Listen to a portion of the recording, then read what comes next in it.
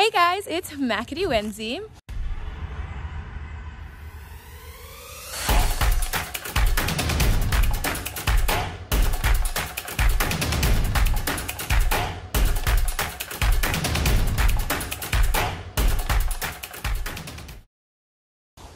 Welcome back to my channel, and if you're new here, welcome. Today is a beautiful, bright, and sunny day in December, so I thought I would go ahead and film a barn vlog. I just pulled up Miss Ruthie's out in the paddock. I'm about to go ahead and bring her in the barn and get her tacked up and ready to go.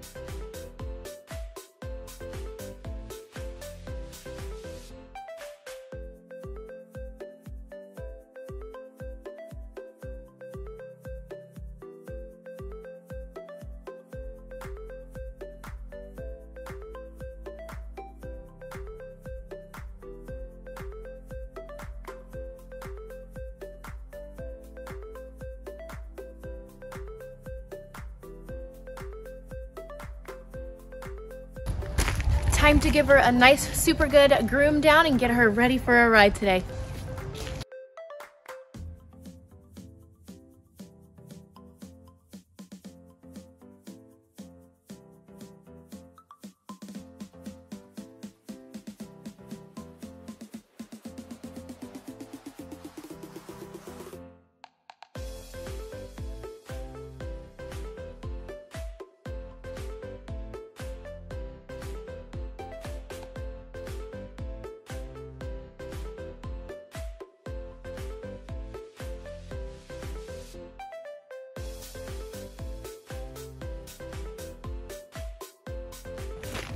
We got the brain bucket on.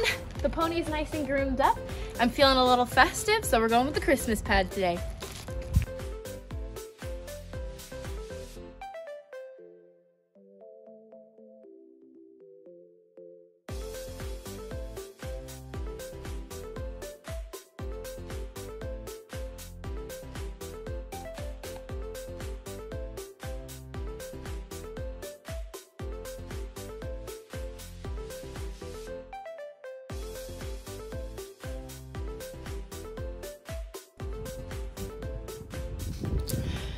So, to start off our ride, I just warm up at the walk, and I like to warm up at the walk fairly extensively, especially in the cooler months and the cooler weather, just to really loosen up her muscles and to make sure she's warmed up and as ready to go as she possibly can be. And then normally when I'm warming up at the walk, I pretty much, at least for the first couple of laps, let her walk almost all the way on the buckle, let her look around the arena, see if anything's changed, if anything's new. Um, just kind of letting her know, like, hey, we're about to start our work soon, um, and getting her nice and loosened up and ready to go.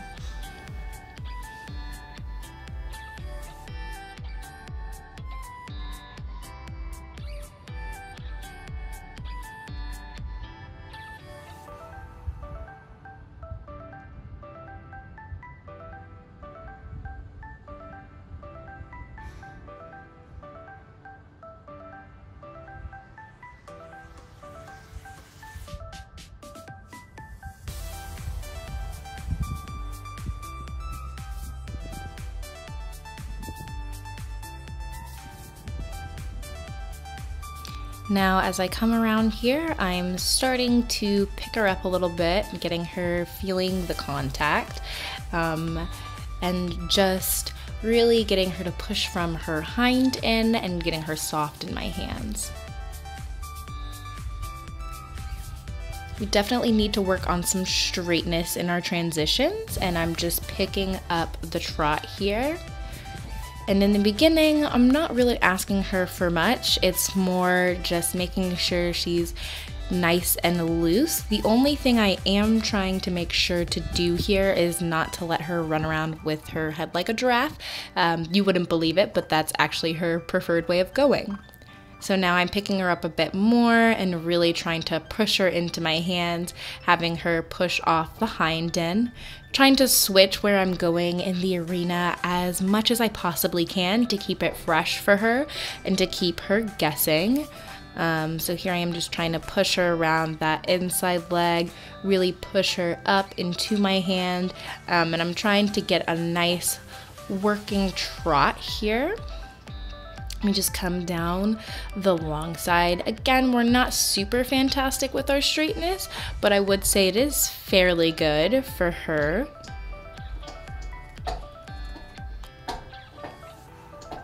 Alrighty, and here we are coming across the diagonal at that trot again, just making sure she's listening to me as adjustable um, as she can possibly be. You know, when I check in in half hold, I want to make sure she's actually slowing down. And when I give her a squeeze, I want to make sure she's actually going forward. And she was actually doing super well. She isn't very steady in the contact, um, she does kind of search for it a lot. Here I am just doing a circle, trying to push her around my inside leg. So that is definitely something that we are working on, as well as straightness and transitions and a whole list of other things. But she felt really good in this hack. She was really listening to me. Um, you know, she's not the most well built horse conformationally or conformation wise. She is built like decently, kind of nice, but she does have some challenges that she has to overcome. So there we go, just changing the directions across the diagonal. She takes a little blowout there. And then I start working on some sitting trot circles, um, trying to get a nice collected trot here around the circles, making sure I'm sitting as much as I can. I know it needs work. Um, but I wanted to go and do some sitting trot, try to really get her collected up, work on my position as well. So then I would just went to the other more spooky side of the arena, and then um, I did a sitting trot circle on that side of the arena as well, really trying to balance her up, collect her into my hands, get a um, nice collected trot. And then after this sitting trot circle, I believe I go back into a posting trot um, and try to get it to move out a little bit more and have it a little bit more engaged and working than that sitting trot was.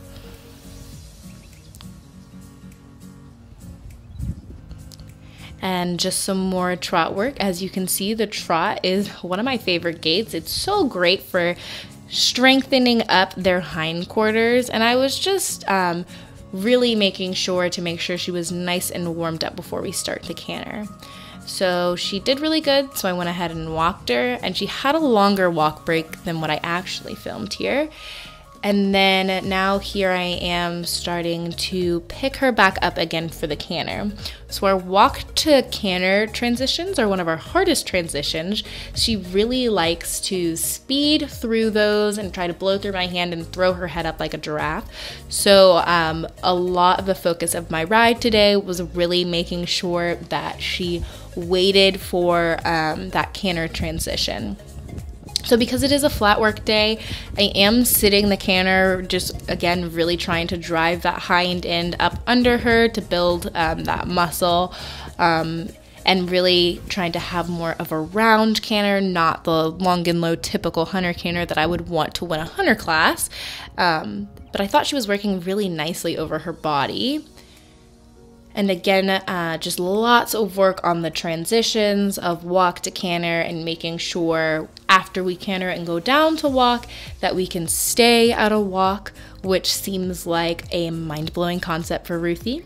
So, right there, she threw her head up way over the vertical and hollowed out her back. It took me a second to get her back into a nicer collected canter where she was using her body correctly.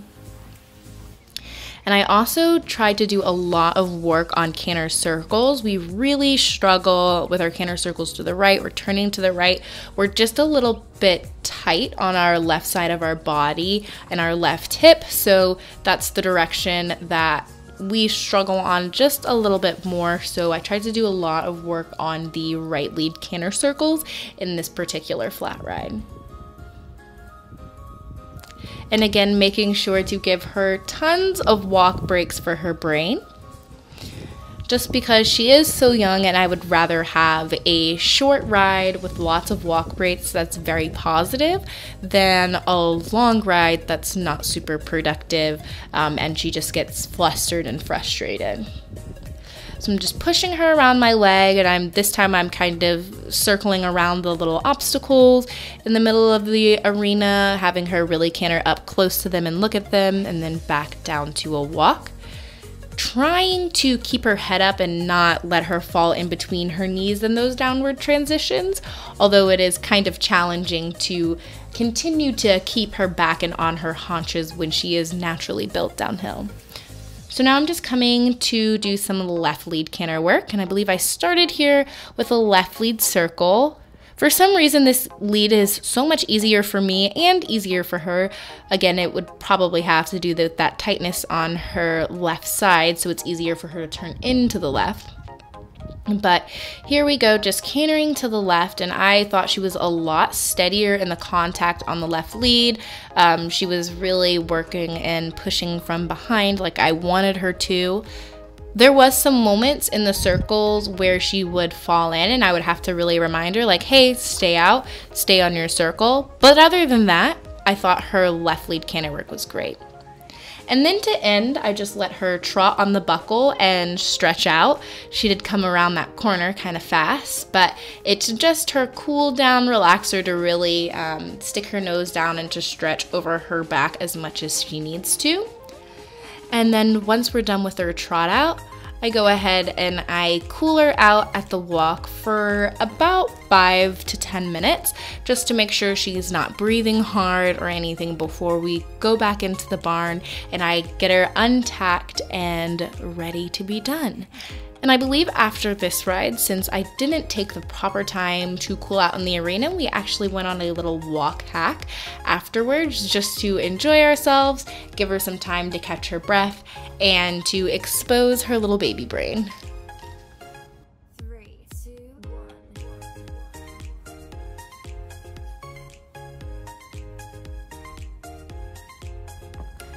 So we just finished our hack. It was really relaxing and nice. We did a lot of um, walk to canter transitions to try to work on getting that a little bit better. And now we're just going on a little stroll to the end of the driveway and back to Cooler Out. Thinking about freaking out. Always hate the gate.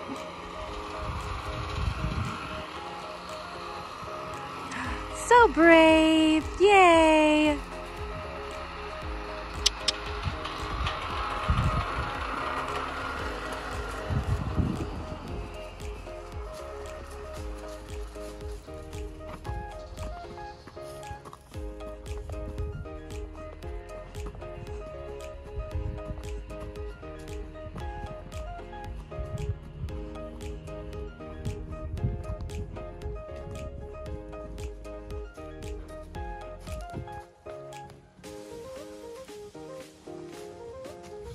Although we were super fantastic for our ride, turns out she was a little bit fresh on our after ride little hack trail down the driveway. So we have a little bit of more work to do about being an independent Miss Pony.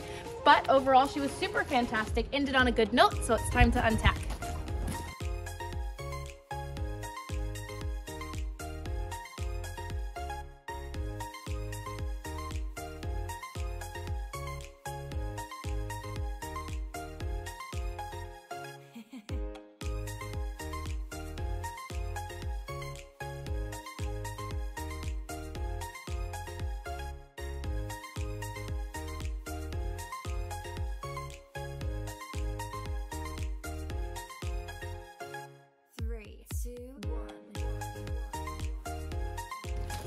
She's sweaty, but it's not too bad. So I think I'm gonna let her dry off a little bit. And while she's drying, I'm gonna clean her tack.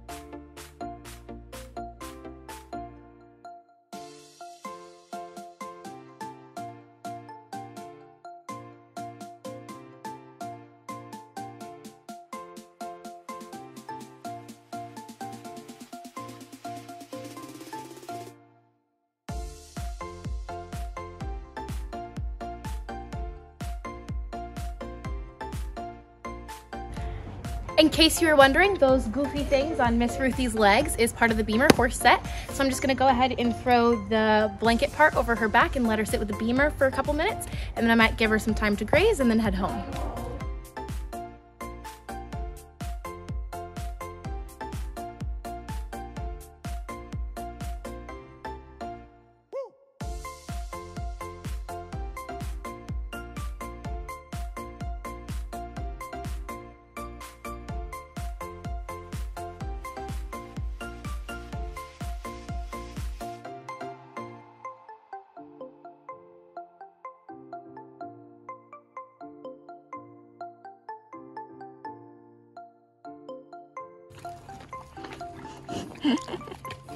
no more Doritos.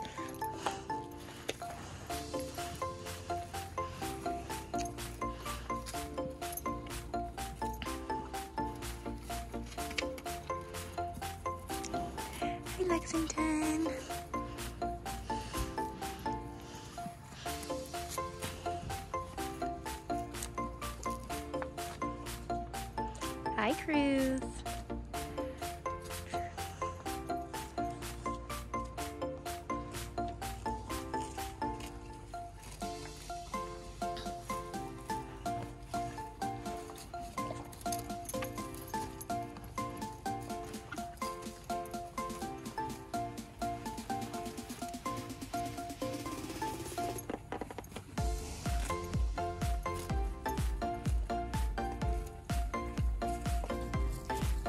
Thank you guys so much for sticking along with me through this vlog.